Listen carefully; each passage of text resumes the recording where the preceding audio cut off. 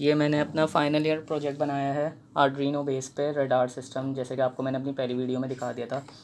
इसका मैं आपको थोड़ा सा प्रोग्रामिंग के बारे में बताना चाहता हूँ कि ये इसकी प्रोसेसिंग प्रोग्रामिंग है प्रोसेसिंग और प्रोसेसर हमें डीएसपी बताता है कि किस तरह हम प्रोसेसिंग और प्रोसेसर में फ़र्क रखते हैं, किस तरह मैथमेटिकल साइंटिफिक टूल्स के ज़रिए मेटलैब के ज़रिए हम सॉल्व आउट करते हैं।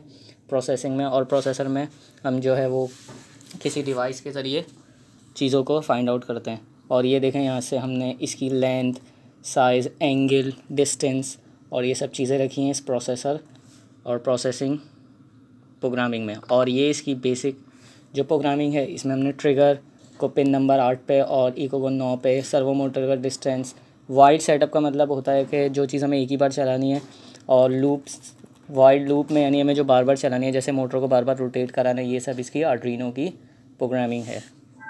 देख सकते हैं आप।